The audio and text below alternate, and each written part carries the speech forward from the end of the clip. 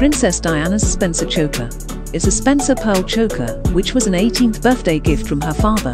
It's one of the few pieces of jewelry worn before the wedding.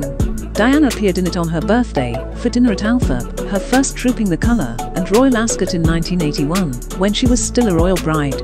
One of her next appearances was for a photo shoot during the Prince and Princess of Wales honeymoon in August 1981. This necklace, which was a favourite during her first pregnancy, at some point in the middle 1980s, the Princess of Wales replaced the turquoise in her necklace clasped with pearls. As her jewelry collection grew, the Spencer pearl necklace appeared less and less frequently as the princess preferred more modern styles as opposed to the traditional necklace style. One of the last appearances of the Spencer pearl necklace was at a banquet at Claridge's Hotel in 1987. It has not been seen since.